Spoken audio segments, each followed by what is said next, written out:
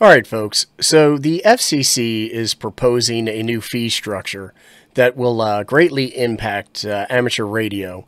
And greatly impact is my words. Uh, your words may be a little bit different. But in this video, we're going to discuss those. We're going to talk about them a little bit. And I'd love to hear your thoughts and opinions. So go ahead and post them below. And while you're at it, you can click the like button, the subscribe button, the share button. If you do that, it'll make you happy.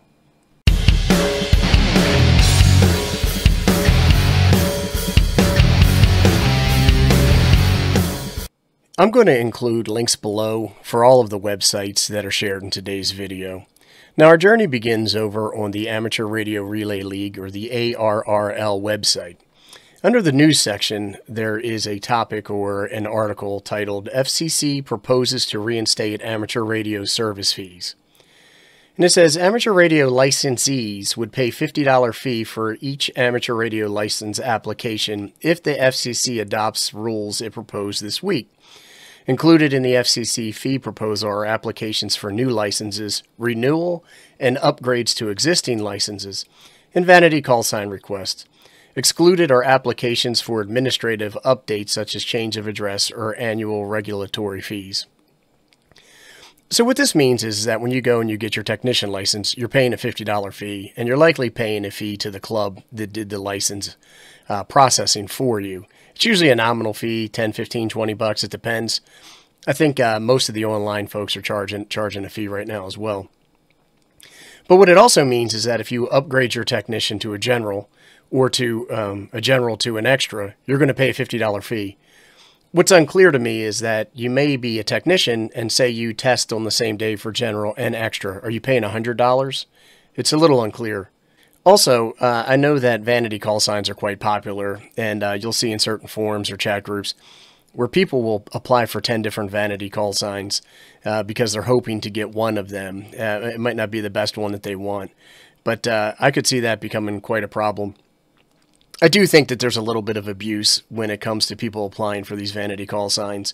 Uh, when people apply to a bunch of them, that's just my personal opinion. There's no need to get upset over that.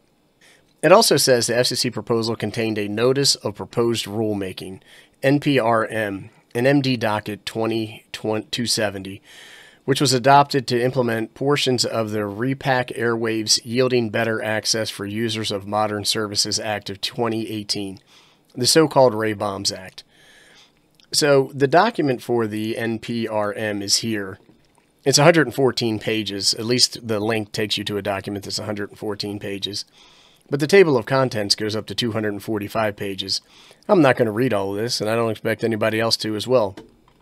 But I believe somewhere around page 53 are the fee structure breakdowns for um, not just amateur radio services, but other services that are impacted by the new license fee recommendation. Also, the uh, the, the the RAY BAUM'S Act. I there's a link to that here, and it's 891 pages. So I'm not thinking anybody's going to read this, but uh, it's a heck of a document, and I'll include a link below if you're the type that likes to stay up late at night reading this type of documentation. All right, back at the ARRL site, it says the Act requires FCC switch from a congressionally mandated fee structure to a cost-based system of assessment.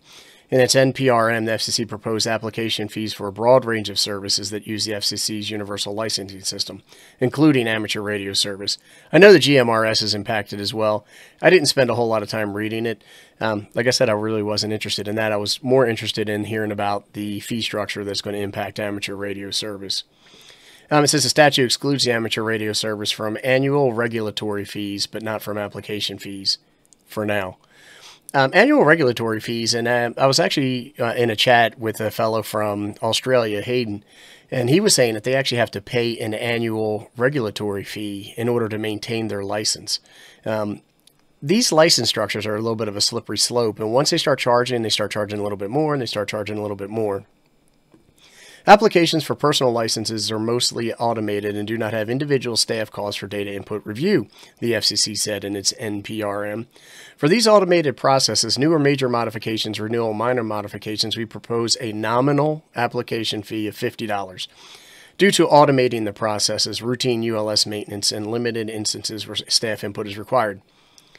Now, I work in IT, and one of the things that I can tell you is, is that there is a cost for setting up automated systems to process applications. Now, I'm going to assume, and that's probably a bad thing, that these systems that process these ULS licenses uh, are probably shared resources, are probably cloud-based resources where you uh, are pay, have a pay structure or cost structure based off of the amount of compute, power, storage, and internet connectivity that you pay for. If you have a system that's designed uh, that costs you $50 to process an application, you need to go back and you need to re-architect your solution. Uh, a real company in the real world would not be able to stay in business if they did something like this. Um, so maybe that's why we have some of these uh, uh tax problems. I don't know. But $50 seems a little bit crazy. I do think that a licensing application fee might be appropriate, but it needs to be something that is more uh, reasonable and it needs to be something that um, uh, folks can afford, right? Like uh, some people can afford $50, no problems. But what I start to think about is people who are getting new into amateur radio. Some of those are youngsters. Some of those uh, might be folks on a single uh, single income supporting an entire family when you start talking about the club fee, the $50 fee, getting uh, uh, maybe you, you bought some training materials or some books and then buying your equipment, it seems like it starts to add up fast. And the big thing here on the SmokinApe channel is, is that we want to make amateur radio accessible. We want it to be easy to use. We want it to be easy to get in, to get licensed, um, easy to understand, because our ultimate goal is to have more people using amateur radio service and more people on the air. And when I see a $50 uh, fee like this, to me, that's a roadblock and that limits accessibility. And I'm not a fan of it. Five, $10 license cost, maybe that makes sense. Maybe you pay a license the first time and then your upgrades are free. I don't, I don't know. This, this, this doesn't seem right to me. It says the same fee would apply to all amateur radio service applications, including those for vanity call signs. We talked about that. Uh, says although there's currently no fee for vanity call signs in the amateur radio service, which I think might lead to a little bit of uh, abuse that we talked about earlier. We find such applications oppose similar costs in aggregate. The Commission Resources, as a new application, is therefore proposing a $50 fee. They're not proposing changes for or charges for administrative updates. Well, that makes sense because I just go to a website, update my information, and it should do that automatically. Um, it says for administrative updates and modifications, which are also highly automated, we find that it is a public interest to encourage the licensees to update their own information without charge. The FCC proposes to assess a $50 fee for individuals who want a printed copy of their license it seems a little bit excessive to me. Um, it seems a little bit of ex expensive. If it costs you 50 bucks to print and stick something in an envelope and mail it, again, you probably need to take a look at your workflow and you need to look at what you're what you're spending your money on. Um, it says they do propose a $50 fee to cover the cost of those services. The RAY BAUM'S Act does not exempt filing fees for amateur radio service. The FCC dropped the assessment for fees for vanity call signs several years ago. Deadlines for comments or, re or reply comments will be determined once the NPRM appears in the Federal Register. File comments using the FCC's Electronic Comment Filing System, ECFS, and you can get that link here. Posting to the MD docket 2270. This docket is already open for accepting comments, uh, even though deadlines have not yet been set. So I guess what I'm going to encourage folks to do is go out there and make a comment and let them know your opinions. Um, you know, this is our opportunity to make sure that, that, that laws like this don't get passed. While I'm not for bankrupting the F FCC, um, I do think that maybe an appropriate licensing schedule is merited or even warranted. I'd like to see some more information on that. But this this seems a little outrageous to me. Anyhow, let me know your thoughts below. Thanks for watching, everybody. I really appreciate it.